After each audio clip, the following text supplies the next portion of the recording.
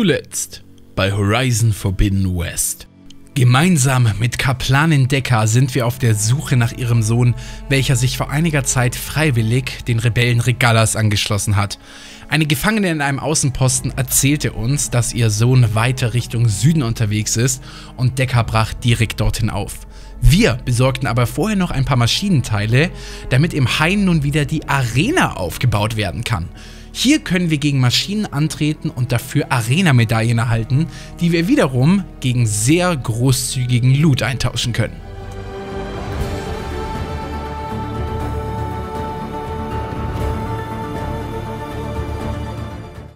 Yo guys, was geht? Willkommen zurück zu einer neuen Folge von Horizon Forbidden West und ich habe ordentlich gegrindet aber ich habe dabei ein ärgerliches Ende genommen. Ich habe ziemlich viel in der Arena gekämpft. Ich habe die komplette erste Stufe abgeschlossen, Freunde. Ich habe die komplette zweite Stufe abgeschlossen.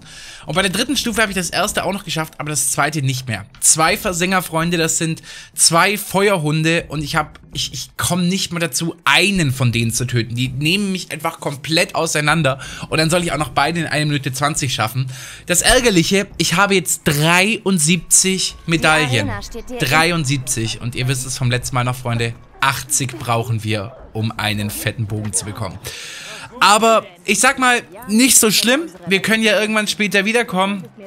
Und das Gute ist ja, dass wir beim letzten Mal uns schon äh, neuen Stuff holen konnten. Schaut mal, da ist nochmal ein, ein Text, Ausstellungsstücke. Äh, okay, geht's irgendwie ums Museum, aber das, das fühle ich jetzt leider nicht so. Ich habe ich hab's einmal eingeblendet, ihr könnt es pausieren, falls ihr es lesen wollt.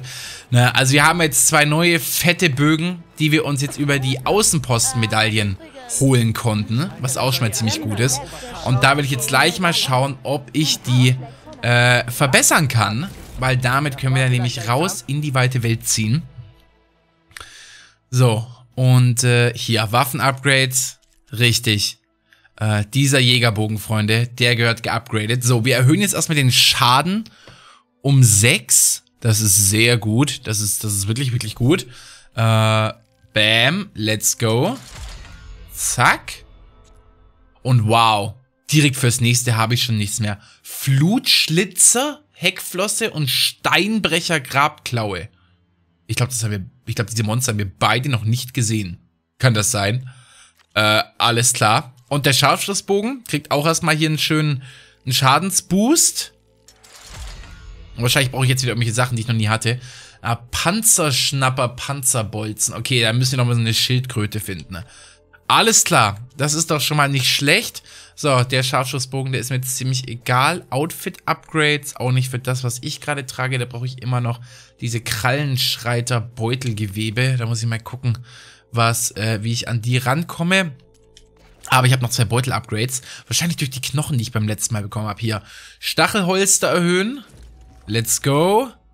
Und Fallenbeutel erhöhen, dass wir sechs Stück tragen können. Das ist actually ziemlich, ziemlich, ziemlich strong. Cool. Damit bin ich doch schon mal zufrieden. Wir könnten jetzt mehr Fallen herstellen, aber bin ich jetzt nicht so interessiert daran. Aber ja, wir haben jetzt auf jeden Fall recht gute neue Ausrüstung. Äh, stimmt, ich kann sogar zwölf von denen tragen. Was übel cool ist. So. Und steht jetzt hier auch noch irgendwo eine Kiste, die ich nutzen kann, dass ich quasi alles, was ich jetzt verbraucht habe, instant wieder auffüllen kann. Ja, Geist, da ist sie. Dann öffnen wir kurz den Vorrat füllen alle Kategorien auf. Wir schicken ja immer sehr, sehr viel an unseren Vorrat.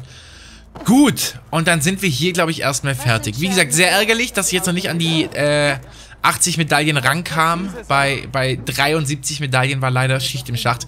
Glaubt mir, ich habe diesen Kampf gegen die Versenker, glaube ich, zehnmal probiert. Und ich habe kein einziges Mal auch nur einen von ihnen kaputt bekommen. Meine Waffen sind einfach noch zu schwach dafür. So, dann geben wir jetzt noch unseren Bögen ein paar passende Spulen. Erhöht beim Fallen oder Gleiten den Schaden, erhöht den Schaden gegen arglose oder misstrauische Gegner. Tarnschaden. Oh, das ist actually, das nutzen wir. Das nutzen wir, Freunde. Und zwar auf unserem Scharfschussbogen. Die nutzen wir sowieso nur, wenn wir sozusagen sneaky unterwegs sind. Und dann packen wir doch gleich noch das hier drauf. Erhöht den Schaden gegen arglose, misstrauische Gegner. Ich glaube, arglos ist, dass die halt gar nichts von uns wissen. Ultra strong, richtig gut. So, und auf unserem normalen Jägerbogen, der hat hier diese, einfach, habe ich irgendwas, das einfach viel Schaden macht? Erhöht Reißschaden an außenliegenden Rohstoffbauteilen. Erhöht den im Konzentrationsmodus verursachten Schaden. Das ist geil, das verwende ich häufig. Stoßschaden, CO der Aufladegeschwindigkeit, auch nicht schlecht. Äh, aber ich glaube, ich nehme das hier, weil ich schieße oft in Slow-Mo und da machen wir da einfach 10% mehr Damage. Also, ja, let's go. Alles klar. So. Und jetzt ist die Frage, Guys, wie machen wir weiter? Überspannentrank, Ausdauertrank. Nee, das ist schon alles gut. Ich, ich, ich mache nochmal hier ein paar Gesundheitstränke. Nicht genügend Platz im Trankbeutel. Was ist denn in meinem Trankbeutel? Warum? Hä, warum habe ich in meinem Trankbeutel keinen Platz? Was soll das denn? Ähm. Hier. Ach, passen da nur drei Tränke rein? Ugh. Okay, das ist natürlich ärgerlich. Ähm, okay, aber nicht so schlimm. Solange wir Tränke haben, ist das in Ordnung.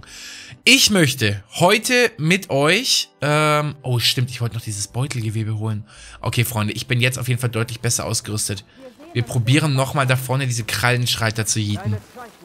Und ihr habt mir, glaube ich, gesagt, äh, damit ich an dieses Beutelgewebe rankomme, darf ich den irgendwas nicht abtrennen.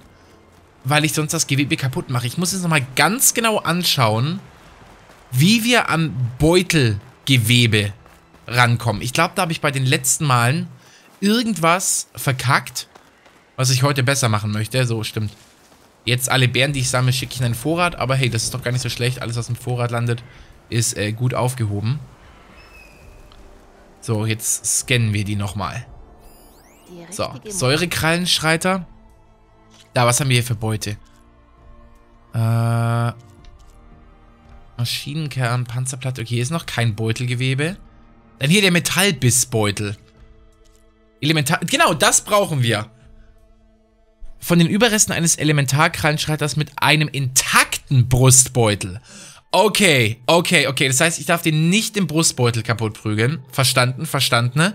Dann, ich kann den, den Hintern abtrennen. Da kriege ich eine einsetzbare Waffe, was actually ziemlich cool ist. Und ich kann den noch hinten was ab... Okay, alles klar. In diesem Fall Plasma.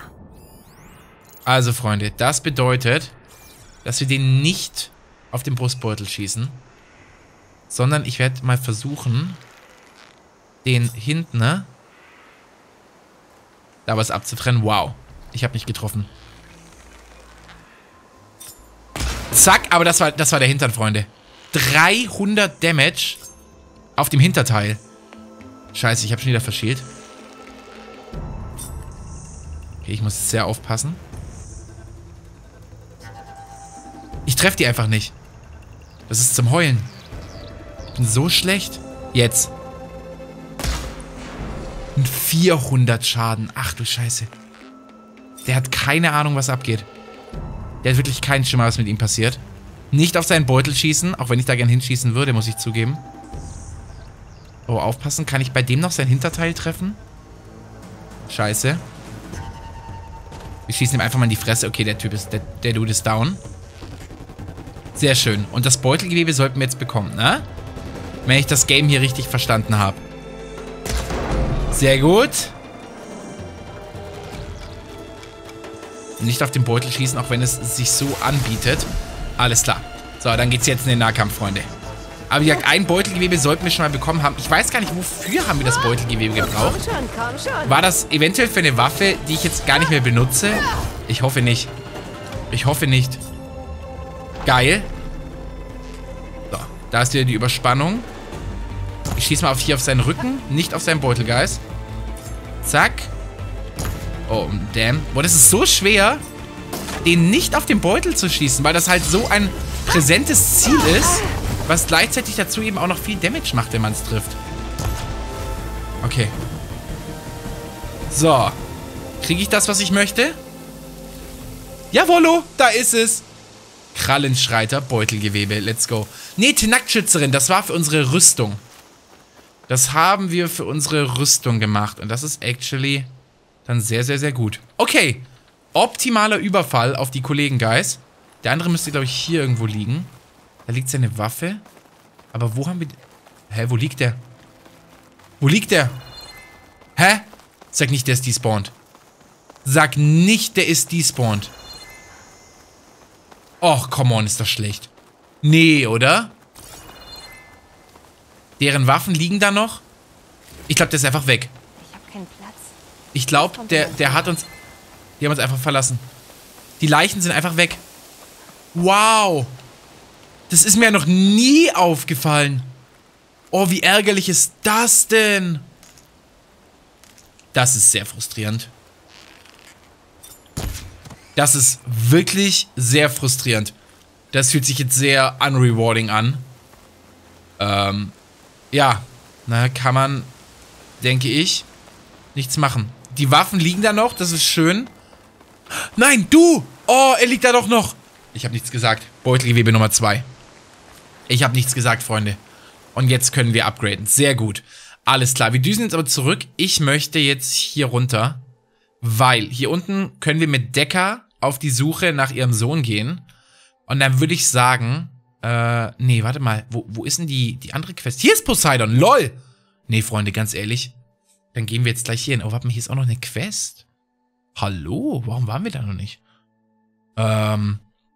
Nee, Freunde. Wir gehen direkt obwohl, nee, komm, wir bringen jetzt diese Decker-Quest zu Ende und dann gehen wir zu Poseidon. Ich möchte auf jeden Fall jetzt in, in, nächster Zeit weniger von diesen Sammelaufgaben machen. Wie gesagt, ihr habt es jetzt auch so ein bisschen gesehen, wie bei der Arena. Das mache ich einfach offscreen. Wie gesagt, die Kämpfe waren jetzt auch nicht so spannend. Ich bin auch häufiger mal gestorben, aber man verbraucht da nicht mehr Ausrüstung. Also man kriegt halt die Ausrüstung immer aufgefüllt. Das Einzige, was man macht, ist, man zahlt Scherben. Ich glaube, ich habe insgesamt für all meine Versuche 4000 Scherben oder so gezahlt. Ähm, aber ich saß jetzt wirklich einfach eine Dreiviertelstunde dran, hat einfach Maschinen geprügelt. Und das wäre jetzt, glaube ich, nichts, was einen Mehrwert für, für ein Let's Play liefern würde. Und deswegen will ich jetzt auf jeden Fall mich in den, in den Parts vor allem auf... Oh, what? Hier ist ein Außenposten? Ah, ach, ach so, aber ein freundlicher Außenposten. Okay, alles klar. Ich sollte erst Vorräte aufstocken. Du bist sicher die so, nee, das passt. Hier will ich eigentlich gar nichts machen. Was hast du für mich? dann, wie gesagt, in den Parts selber mich vor allem auf die Quests orientieren. Haupt- und Nebenquest. Du bist im Tiefland sehr bekannt, Ostländerin. Du hast unseren Marschällen und unserem Häuptling geholfen. Ich bin dir dankbar.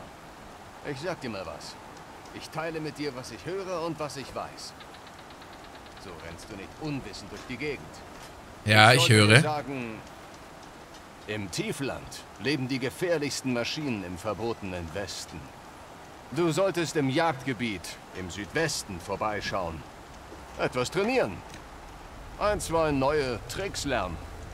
Ich werde daran denken, wenn ich dort bin. Danke. Okay, danke dafür. Ich glaube, die Jagdgebiete hätte ich auch so gefunden, aber äh, sehr lieb von dir, Kollege. Ich habe eine sehr ausführliche Karte auf der ich mich bewegen kann. So, aber ich will jetzt auf jeden Fall zu Decker, weil ich wissen will, ob sie in der Lage ist, ihren Sohn wieder, nun ja, auf die für sie persönlich gute Seite zu bringen. Das ist ja auch immer noch Ansichtssache, was die, äh, Entschuldigung, richtige oder falsche Seite ist. Aber ich bin mir sicher, dass, es hoffentlich ein gutes Ende nimmt. So, Spiele machen heutzutage häufiger mal die enden einer Quest nicht so ganz, wie man sie sich wünschen würde. Sagen wir es einfach mal ganz vorsichtig so. Ja, hier stürmt es permanent. Aber wir kommen hier schon dank unseres Stürmers irgendwie durch dieses sehr durchwachsene Land. Wir reiten sehr weit in den Süden gerade. Na? Boah. Ich glaube, ich muss gleich was zu trinken holen. Okay, Freunde. Ich bin wieder da. Ich muss nur ab und zu meine Stimme ölen. Wie gesagt, äh, ich habe aktuell einen ich habe sehr ekliges Halsweh. Ich bin nicht Corona-positiv, keine Sorge. Ich habe mich schon getestet. Ich habe einfach wirklich legit nur Halsweh. Äh, ich glaube irgendwie entzündete Mandeln oder, oder, I don't know, irgendwas im Gaumen auf jeden Fall. Und es war jetzt eigentlich die ganze Zeit gut. Ich habe auch sehr viel Tee jetzt heute Morgen getrunken und ich habe auch eigentlich die letzten Tage recht viel aufgenommen. Aber vielleicht äh, muss ich jetzt einfach mal ein, zwei Tage nicht aufnehmen und meine Fresse halten. Äh, damit mein Hals sich mal wieder komplett auskurieren kann. Aber, naja, die Aufnahmen für die Woche, Freunde, die müssen gemacht werden. So, wir sind in Schluchtrand. Sehr skurriles Dorf. Sehr, sehr bunt gemixtes Dorf. Aber ich bin vor allem wegen Decker hier. Der Rest ist mir jetzt erstmal egal, vor allem, weil hier jetzt auch erstmal keine andere Quest zu sein scheint. In die Richtung müssen wir, ne? Da unten, da unten steht sie. Ich sage die Wahrheit. Hör auf ihn, Aroki. Keine Chance. Er ist ein Verräter. Was ist denn hier los? Decker, was ist hier los? Aloy, zum Glück bist du hier. Das ist Aroke, der Anführer von Schluchtrand. Du hast dir also die Streiterin des Häuptlings zur Rückendeckung geholt. Dann musst du Cavo sein. Mein Enkel. Und ein Soldat, der seine Fehler wieder gut machen will. Oder der uns in eine Falle locken will. Er wurde erwischt. Von den Spähern, als er ums Dorf herumschlich. Ich bin nicht herumgeschlichen. Ich kam, um euch zu warnen. Die Rebellen planen einen Angriff. Sie wollen eine Maschine durch dieses Dorf schicken. Ich verließ meinen Posten, als ich merkte, was sie planen. Ihr müsst mir glauben. Wo sind die Rebellen jetzt? Auf der Jagd nach der Maschine nördlich von hier. Ich kann euch den Weg zeigen.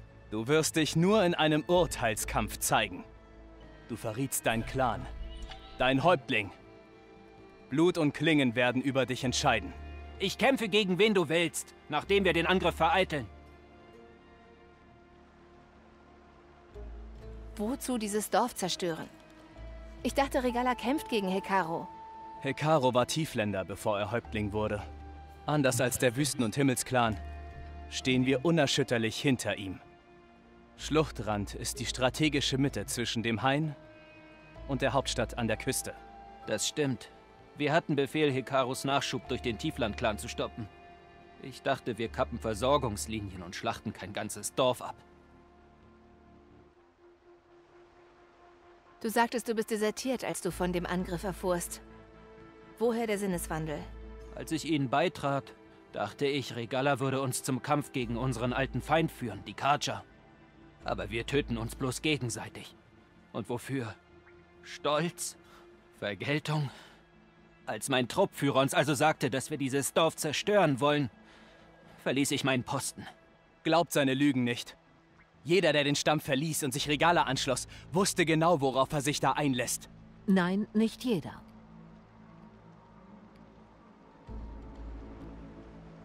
Wenn Cavo die Wahrheit sagt, ist das ganze Dorf in Gefahr. Wir müssen die Rebellen finden und aufhalten. Die Rebellen hatten ein Lagerfeuer nördlich des Flusses, an den Klippen. Ich kann euch den Weg von dort zeigen. Okay. Lass ihn frei, Aroke. Nein. Ich gebe ihm keine Chance zur Flucht. Der Verräter bleibt hier, bis zu seinem Urteilskampf. Ich berufe mich auf Blut für Blut. Ich nehme Cavos Platz ein, bis er zurückkehrt. Du machst einen Fehler, Kaplanen. Der Clan braucht deine Führung, nicht die Lügen dieses nacktarmigen Jungen. Der Ritus gilt. Cavo geht mit Aloy. Dann gehe ich auch.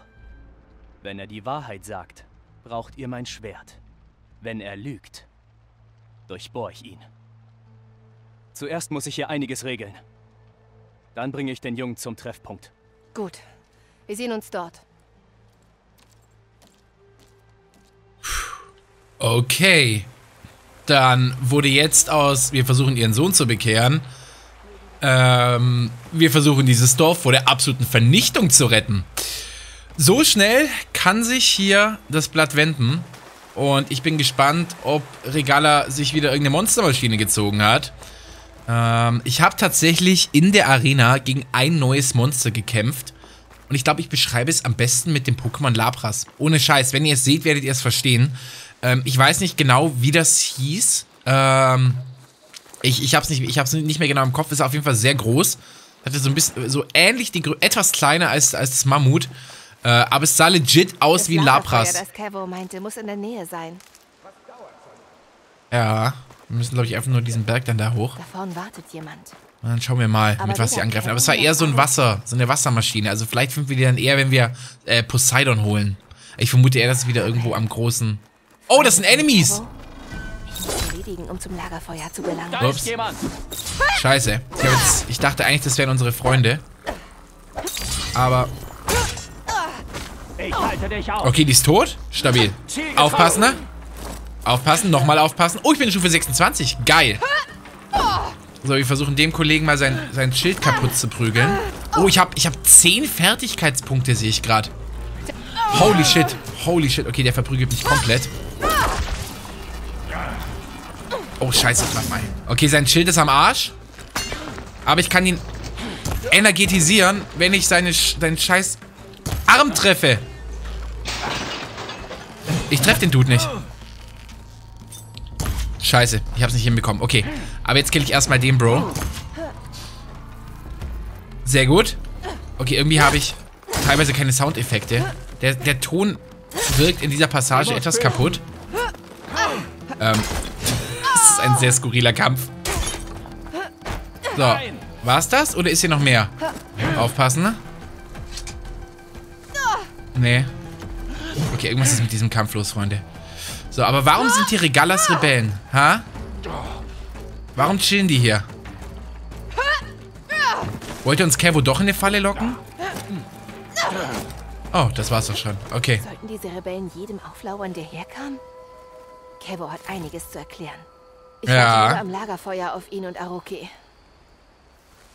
Okay, warte mal. Hier sind noch ein paar mehr, paar mehr Kisten. Was ist denn mit dem Ton auf einmal los? Teilweise haben Nahkampfattacken von mir einfach keinen Ton mehr. Sehr, sehr, sehr skurrile Momente, meine lieben Freunde. Oh, da ist noch eine, eine lila Truhe. Ist da vielleicht was Sinnvolles drin? Äh, nein, Moment. Hier müssen wir hin. Tränke. Sehr viele Tränke. Das ist doch gar nicht bad. Ich nehme noch ein paar mehr, Das ist Reserve für später. ein paar mehr Beeren mit. Das kann, denke ich, nicht schaden. Ich habe jetzt nicht gerade sehr glorreich gekämpft, muss ich jetzt einfach mal sagen. Aber gut. Dann schauen wir mal, was hier abgeht. Äh, kann ich mit dem Feuer interagieren? Nee, ich kann doch nicht mit dem Feuer interagieren. Was?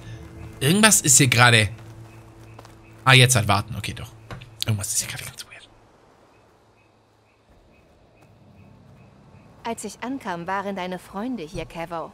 Kein sehr guter Anfang. Muss eine Patrouille gewesen sein. Ich schwöre bei den Zehn, ich wusste nichts davon.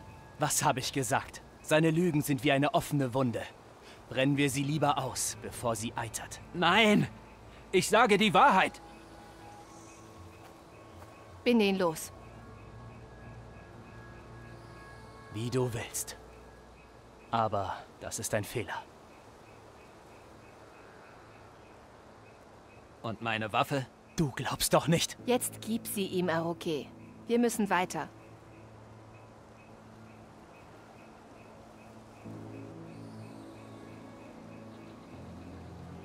Geh voraus.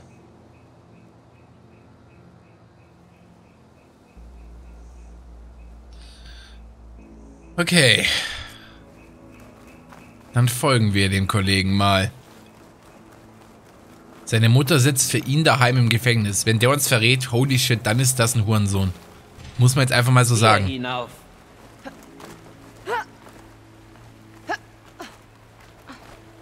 Okay. Geht noch weiter nach oben? Okay. Wohin führst du uns? Die Rebellen sind am Klippenwasserfall stationiert. Über diesen Weg bin ich desertiert. Sie werden nicht erwarten, dass jemand diesen Weg nimmt. Oder doch. Und wir werden sofort aufgespießt. Boah, der Himmel. Schaut euch mal den Himmel an. Da ist der Klippenwasserfall. Und es ist niemand dort. Ganz wie erwartet. Gehen wir einfach weiter. Mir gefällt das nicht. Okay, müssen wir jetzt rüberklettern? Ja. Okay. Hm. Boah, verrät der wirklich seine eigene Mom? Nein, sowas macht doch niemand, oder? Die sich für einen komplett opfert. Das kann ich mir nicht... Komm schon. Kevo. Mach nicht diesen. Ich, ich hab Vertrauen in dich. Ich hab wirklich Vertrauen in dich.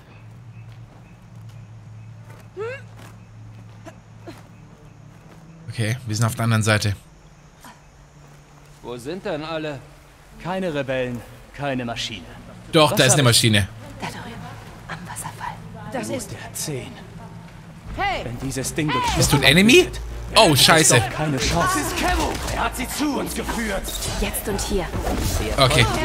Äh, ärgerliche Momente, Freunde. So, jetzt, jetzt geht's hier los. Ich hab den irgendwie im ersten Moment nicht gesehen. Zack. Okay, ich kann die nicht treffen. Es ist sehr dunkel. Okay. Meine Kampfgeräusche machen irgendwie immer noch nicht das, was sie tun sollen. Aber das ist jetzt erstmal kein Stress. So. Dann erledigen wir kurz den. Mit was für einer Maschine haben wir es hier eigentlich zu tun? Ein Behemoth. Oh! Die kenne ich aus. Die kenne ich aus Zero Dawn.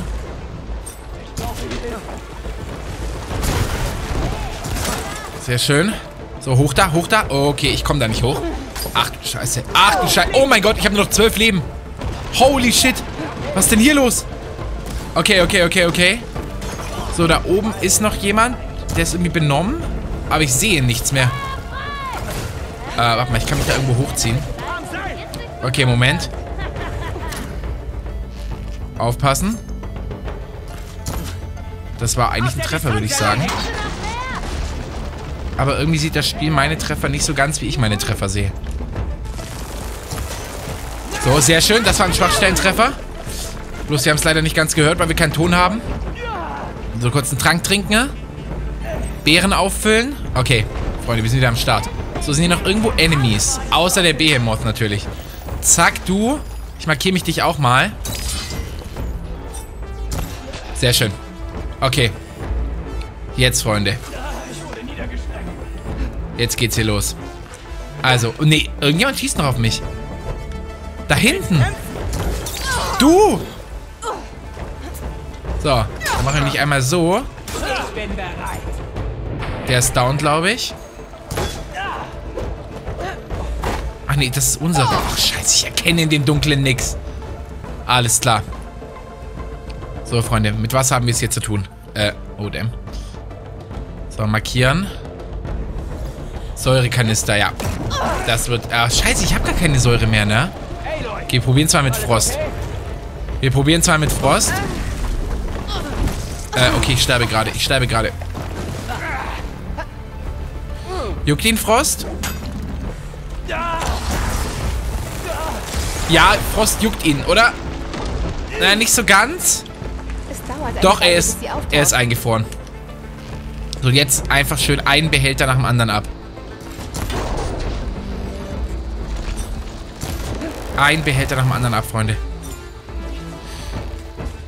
Sehr geil. Da habe ich irgendwas abgetrennt. Oh, ich glaube, ich habe die komplette rechte Seite von seinen Schwachpunkten hier abgetrennt. Oh, scheiße. Oh, damn. Ich hänge hier an der Klippe. Oh, scheiße. Der darf mich nicht runterfeuern, Guys. Jetzt. Mhm. Ja. Ja. Ja. Okay, wir machen gut Damage. Okay, er macht mir aber auch gut Damage. Ich sollte vielleicht nochmal meinen Lappenbogen ausrüsten. Ich sollte vielleicht nochmal meinen Lappenbogen ausrüsten, damit ich Säurepfeile habe. Die habe ich einfach aktuell nicht am Start. Und die fehlen mir. Oh, jetzt macht er wieder das. Da flüchte ich instant. Da flüchte ich instant.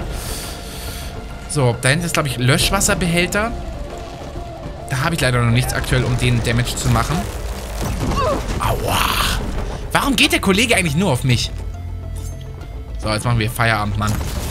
Putz! Geschafft. Holy shit. Wir Mod durchsuchen. Keine Ahnung, ob da irgendwas Sinnvolles dabei ist. Wir akzeptieren das einfach. So. Und jetzt einfach sehr, sehr, sehr viel Stuff. Okay, das Spiel sagt mir, ich soll mich unbedingt teilen. Heile ich mich nicht irgendwann von alleine? Ich glaube, ich heile mich doch irgendwann von alleine, oder? Ich schau mal nach. Bleib mal hier ganz entspannt. Das sind, glaube ich, alles Lohe-Behälter hier, ne? Ja. Okay. Da liegt auch noch was. Davon ist auch noch guter Loot. Aber Kevo hat die Wahrheit erzählt, Freunde. Dementsprechend schauen wir mal nach. Kevo, du blutest. Mir geht's gut. Nur der vereitelte Angriff zählt. Dank deiner Warnung. Du hast viele Leben gerettet. Dann komm. Ab zurück nach Schluchtrand. Ich hab wohl ein paar gebrochene Rippen.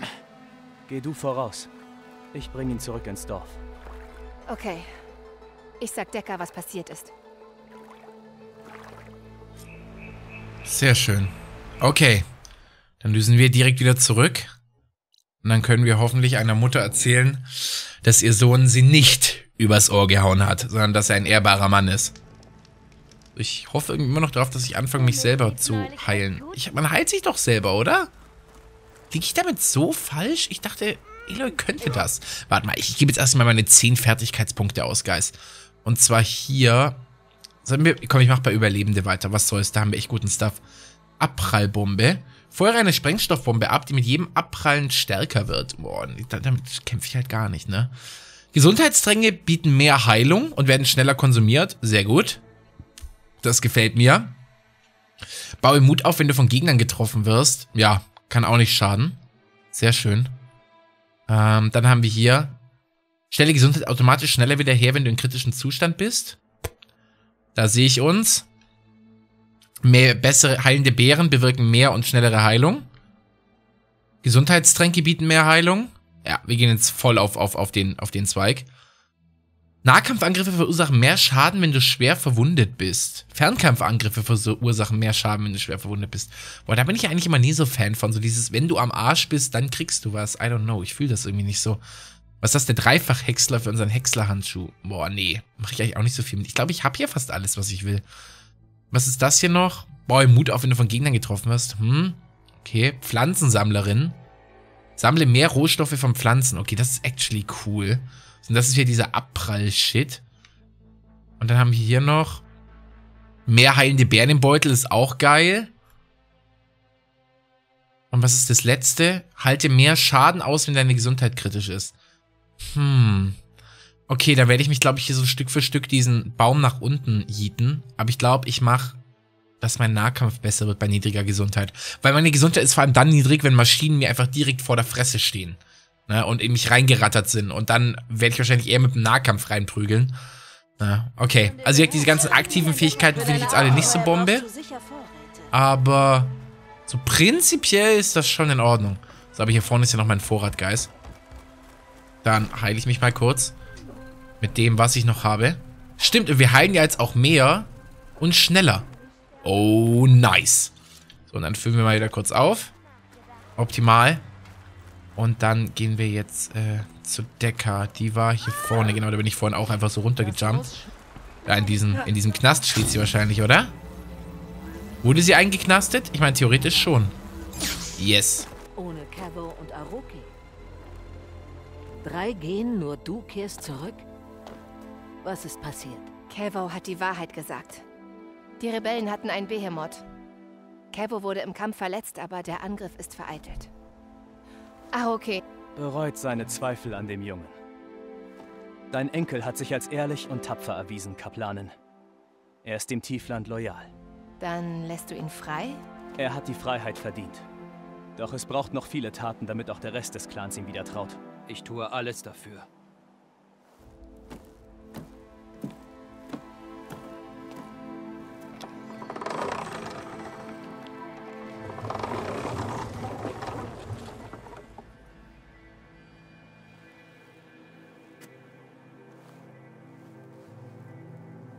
Danke, Aloy. Genau. Schluchtrand steht tief in deiner Schuld. Als erstes Zeichen des Dankes. Danke. Wenn du wieder gesund bist, habe ich dir so vieles zu zeigen. Willkommen zurück, Kevo. Cool. Schöne Quest. Wir haben eine Grenzstolperfalle erhalten. Ah, ist das überhaupt ist das eine bessere Waffe? Ja, moin! Und die kann Schock, Feuer und ich glaube einfach Explosionsschaden. Damn, die ist einfach viel besser als die, die wir haben. Hier, wir haben die hier, die hat auch Schock und Feuer mit 24 und 25. Die, die ist einfach, die ist einfach in allen Belangen besser. Ja, arschgeile Sache. Zack, weg mit meiner Lappenstolperfalle. Wir haben jetzt eine lilane. So, und äh, ich werde wahrscheinlich eher mit Schock als mit Feuer. Warte mal. 7% Feuer. Okay, 7% Schock, ja. Dann hauen wir hier Schock drauf. Bam. Let's go. Und dann haben wir uns mit dieser Quest einfach eine fette Stolperfalle ermöglicht. Das ist geiler Scheiß, so. Mit meinen zwei Fertigkeitspunkten komme ich, glaube ich, hier unten noch nicht viel weiter, oder? Doch. Äh, baue Mut auf, wenn du von Gegnern getroffen wirst. Ja, das finde ich eigentlich actually ziemlich cool. Zack. So, und dann kommt als nächstes, sammle mehr Rohstoffe von Pflanzen. Das ist halt übertrieben fett. So, zwei Fertigkeitspunkte brauche ich noch dafür. Das, das ist, das ist super strong. Okay. Äh, einige Stolperfallen können Schild, ach nee, das sind Schilddrähte. Um ein Energieschild zu erzeugen. Der Schild blockt alle Geschosse. Absorbiert der Schild zu viel Schaden, explodiert er. Okay. Das ist ja mal ultra verrückt. Geiler Scheiß. Okay. Dann hätten wir die Quest auch abgeschlossen. Hier drüben ist da noch ein neues Jagdgebiet, wo wir theoretisch vorbeigucken können. Da wäre nochmal ein Maschinenrennen. Und da ist auch noch so ein Flugschreiber. Ich glaube, gerade die beiden Flugschreiber, die hole ich eventuell offscreen oder schneide sie euch zusammen. Äh, das Jagdgebiet werde ich vielleicht auch kurz fix machen. Äh, und das, das Maschinenrennen. Und dann werden wir Stück für Stück zu Poseidon steppen, Freunde. Ich freue mich sehr darauf. Danke fürs dabei sein heute und bis zum nächsten Mal. Dankeschön an den Paulson, Lord Rioma und Sören Komora für euren unfassbaren Support per Kanalmitgliedschaft.